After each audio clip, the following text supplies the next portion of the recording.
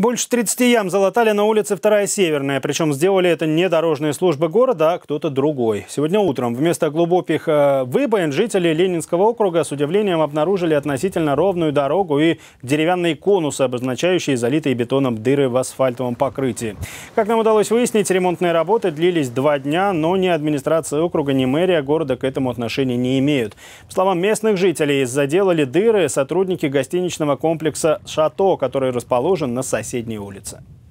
Дорога была в ужасном состоянии. Ну, невозможно было ездить, я сам, ну, как бы езжу. А вода бежит по дороге, соответственно, дорога разбивается. Вот я говорю, спасибо, что то, что он сделал. Если бы не он, так вот каждый год мы здесь машины и бьем.